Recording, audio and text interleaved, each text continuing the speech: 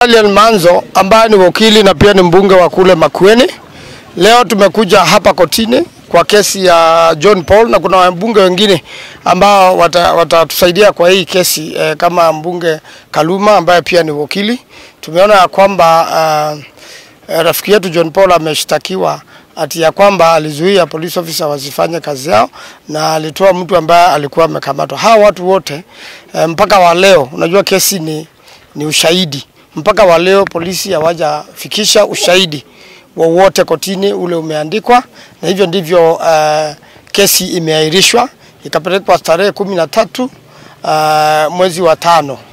Kwa hivyo tunatarajia tuna, tuna, tuna wakati huo kama wamekosa ushahidi watakuwa wameondoa kesi, maanake hata yule mtu alisemekana alisaidiwa hajaonekana, gari yake hakuna ambayo ilisemekana na watu wa bodaboda ambao walikuwa ati walisaidiwa kutoroka, hakuna hata mmoja. Kwa hivyo tu ni kesi ya polisi wenyewe dhidi yake, na tuko tayari kuendelea na hii kesi wakati eh, koti itasema tuendelee ama ushahidi ukipatikana, lakini kwa kawaida ushahidi ukikosekana kwa kesi huwa inatupwa.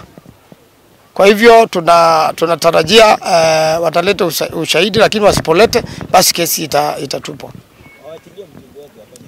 E, tunangesema hii mambo ya ku lazima watu ambao wanafanyia wananchi kazi, polisi na wabunge, kawaida hufanya kazi pamoja.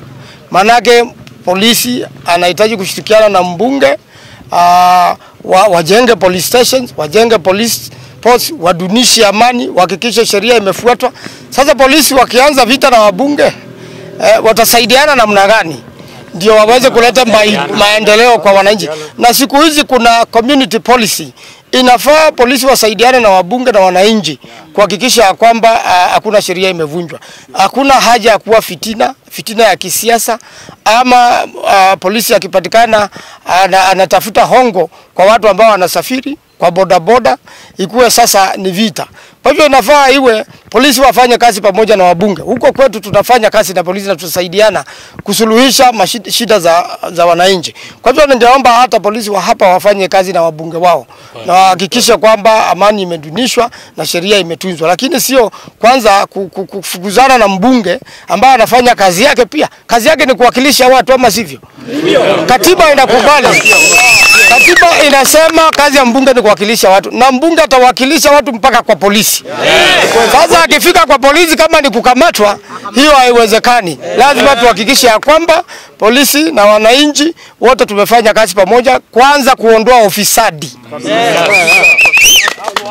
kwanza kuondoa ufisadi na hata polisi mwenyewe asihusike kwa ufisadi, na hakutakuwa shida na hata kuwa haja ya kusumbuana na mbunge ambaye ni mshahidi wa kesi ya ufisadi.